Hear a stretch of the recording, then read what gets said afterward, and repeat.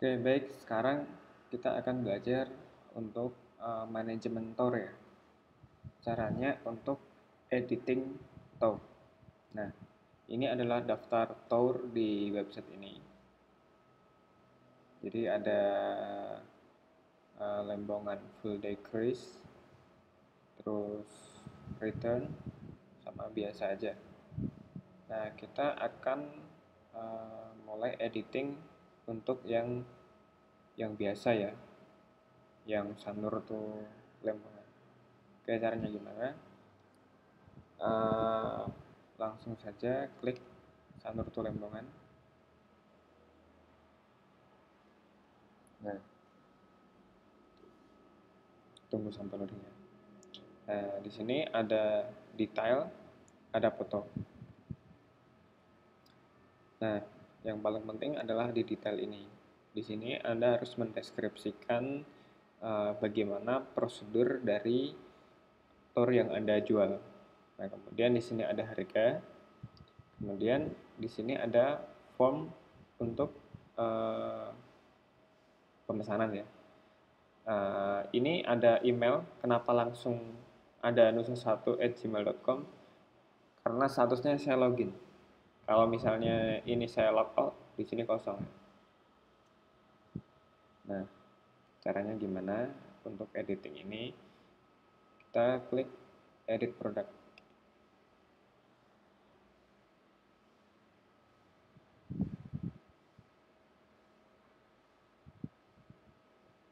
Nah, oke tunggu sampai loadingnya berhenti.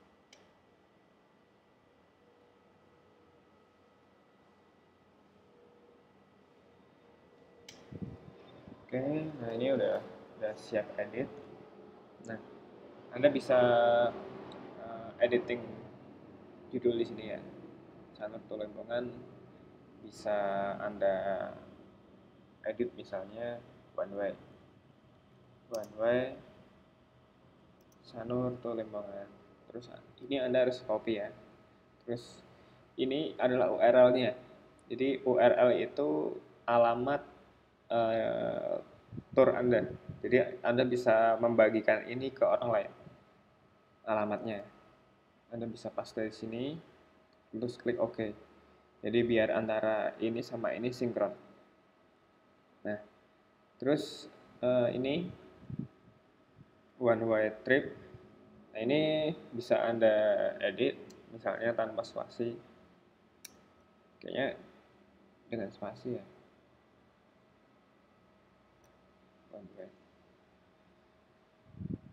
Bisa anda edit bisa tambahin titik misalnya. Terus rute ini sebagai informasi misalnya anda ganti harga jadi 450 misalnya. Tapi jangan. Uh, nah terus produk kategori ini nggak usah ya. Karena ini one way. Uh, apa kecuali kalau misalnya return anda klik return. Tapi kalau one way kan produk dasar jadi nggak perlu ditambahin. Nah terus uh, tor kategorinya anda klik yang sanur to Nusa Lembongan sesuai dengan yang di sini. Nah oke. Okay. nah batch ini anda bisa pilih sih. Kalau nggak juga nggak apa-apa. Nah, misalnya mau early bird atau last minute misalnya last minute anda bisa tambahkan juga additional tab, tapi nggak perlu ya. Kalau misalnya Anda mau tambahin, nggak apa-apa. Misalnya uh, testimoni. Nah, ini Anda bisa tambahkan, misalnya Edi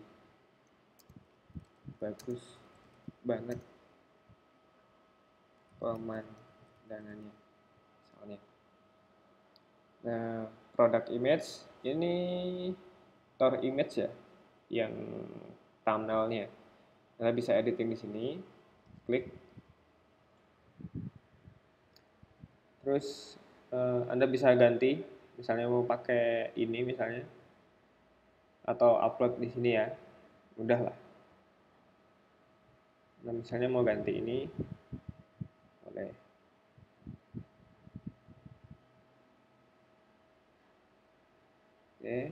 bawah lagi. Pastikan ini checklist variable tour. Terus uh, untuk harga kita masuk ke uh, sorry kita ke tour booking dulu. Nah ini kan ada start date sama end date. Ini adalah uh, tanggal valid dari tour anda. Nah misalnya ini tanggal tanggal berapa? Sekarang tanggal tanggal 4 April. Kan dari tanggal 4 April sampai kalau misalnya mau jauh banget ya ada cek Agustus misalnya. Terus ini jamnya ini jadwal keberangkatan ya. Misalnya anda bisa lihat di sini mulainya jam 9 misalnya. Jangan deket banget. Jam 9 terus misalnya jam 11 terus jam 14 14 nah misalnya 3, 3 jam ya. 3 jam keberangkatan. Anda bisa tambahkan diskon. Ini biarin weekdays. Ini aktif apa enggak? Yes. Ini nomor tiketnya Anda banyakin aja ya nah misalnya 30 lah terus klik save di sini Nah, kemudian untuk harganya gimana? Nah, kita ke atribut. Jadi uh, di sini kan uh, ini opsional ya, tergantung kebijakan dari perusahaan Anda. Nah, misalnya kan di dalam tiket itu kita misalnya lihat tadi, kita lihat dulu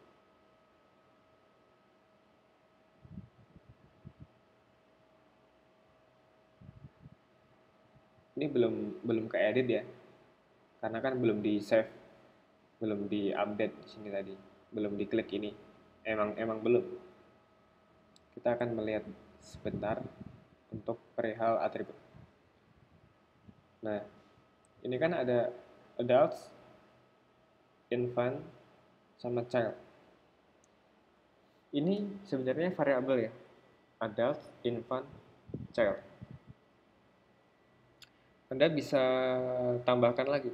Misalnya uh, orang tua atau lanjut usia. Lanjut usia. Ini sebagai contoh ya.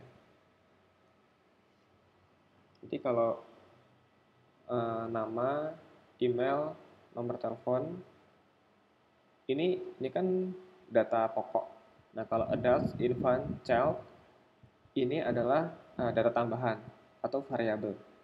Ini namanya variabel. Kenapa? Karena di sini variabel tuh. Nah, oke. Nah, kita bisa menambahkan variabel lain. Nah, misalnya kan kalau child, uh, child pilihannya ada berapa nih? Oh, ada satu, ada dua, eh ada nol, ada satu, ada dua. Nah, di sini juga muncul 0, 1, 2. Kalau misalnya mau ditambahin satu lagi, bisa tambahkan kayak gini ya. Uh, apa sih garis tegak. Terus tiga misalnya ini penambahan nilai dari variabel. Eh nilai dari atribut. Nah, lanjut usia berapa? Kasih 0 1 2 atau mau 3 atau 4 silahkan kemudian uh, save attribute.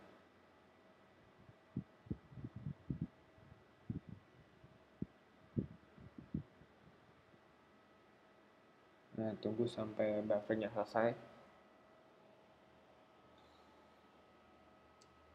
Oke ya.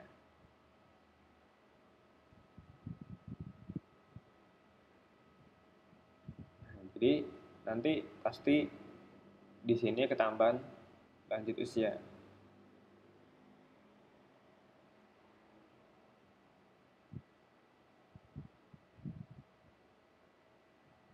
Nah, jangan lupa klik use to use for variation. Variation nanti setelah Anda men-setting atribut, Anda harus men-setting ulang di variation. variation ini adalah penentuan harga kan kita belum setting harga ya. Oke tunggu sampai loadingnya selesai. Sorry ini agak telat karena buat uh, merekam. Karena merekam layar makan RAM banyak banget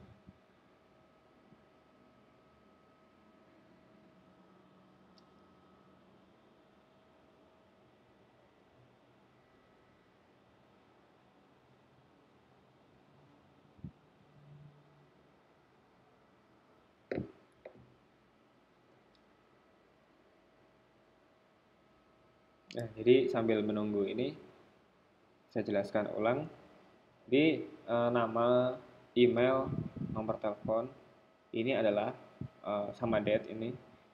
Ini adalah e, apa namanya? kolom pokok. Sedangkan adult, infant, child ini adalah variabel tambahan. Bisa ditambah, bisa dikurangi. Anda bisa menambahkan apa pun. Misalnya warna, atau misalnya uh, pakai snack atau enggak. Uh, atau misalnya anda butuh teman atau tidak. Misalnya di di perusahaan anda menyediakan uh, jasa menemani. Uh, kan kalau misalnya orang jalan-jalan sendiri kan kasihan. Anda bisa menambahkan sendiri. Terus kemudian jika ini sudah anda sudah berhasil menambahkan usia terus klik variation. Nah uh, ini karena kita tadi menambahkan anda bisa mendelete dulu semua variasi. Oke.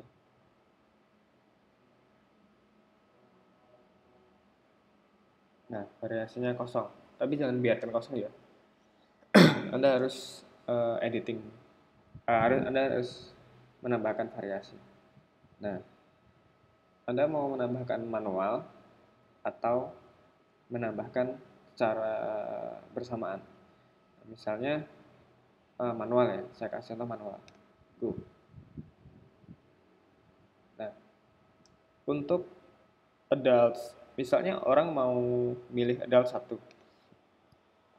Nah, terus infantnya berapa?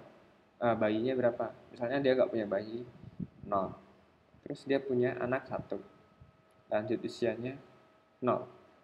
Nah ini maksudnya adalah orang yang misalnya customer anda adalah uh, satu orang dewasa nggak punya bayi atau nol anaknya satu. Ini harganya berapa? Nah anda tentukan harga di sini misalnya harganya uh, dewasa 1 misalnya 350 tambah child berarti misalnya 600 ribu. Statusnya in stock. Udah gini aja. Terus gini. Terus anda menambahkan lagi go. Nah misalnya dewasa dua orang misalnya suami istri punya bayi satu. Anak anaknya nggak nggak ada. Ya anaknya bayi itu satu. Lanjut usianya nggak ada. Kemudian ada ini sebagai contoh aja. Nah perlu anda ketahui anda bisa mempelajari uh, apa variabel produk ini permainan atribut dan variasi ini dengan googling ya. Anda bisa mengetikkan ini Nah, WooCommerce variabel produk. Karena ini adalah uh, teknik global ya. Jadi teknik ini udah dikuasai beberapa uh, website user di dunia. Jadi Anda nggak akan kesulitan. Ini variabel produk.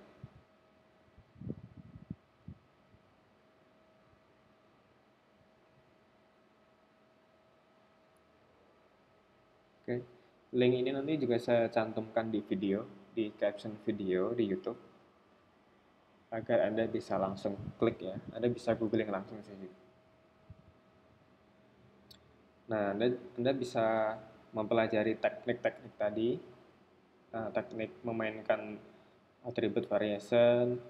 Kalau orang milih berapa harganya berapa.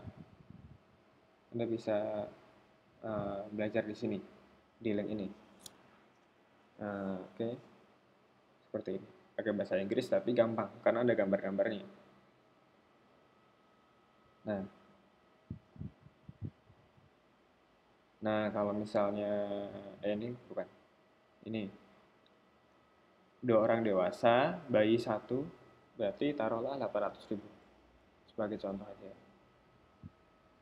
Nah oke okay, sampai seperti ini berarti anda sudah selesai editing kemudian tinggal klik update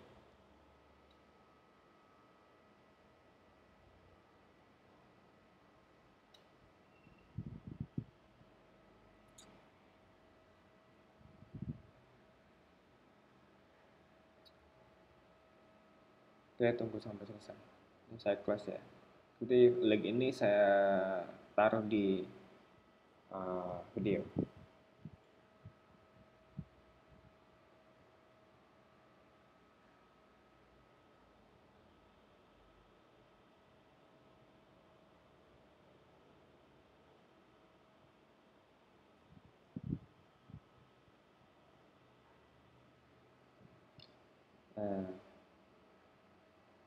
Berhasil ke save. Cuma nunggu dulu.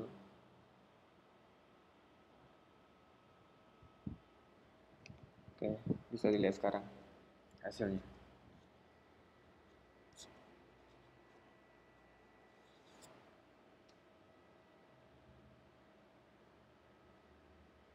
Oke nah di sini udah ketambahan lanjut usia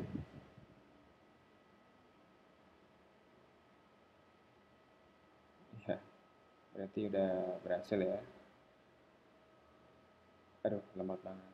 Nah ini harganya ini batchnya tadi ya last minute. Jadi ada ada kayak notifikasinya gitu.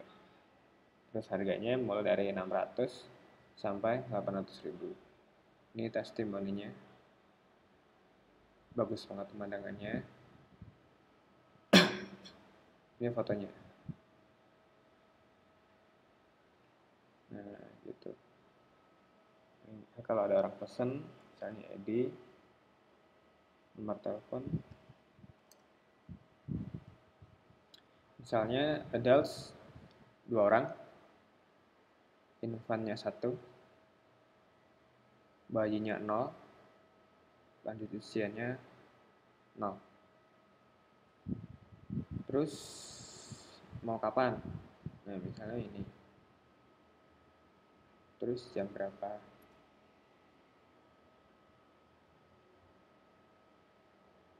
jam 11 misalnya. Ini satu.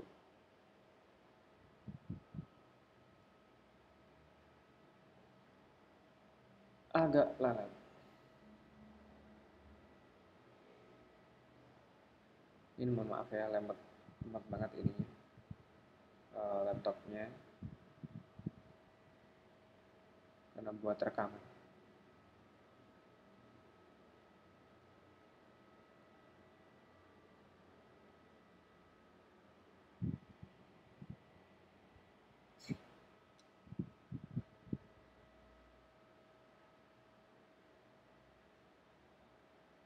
Ya, intinya seperti itu ya untuk editingnya ya.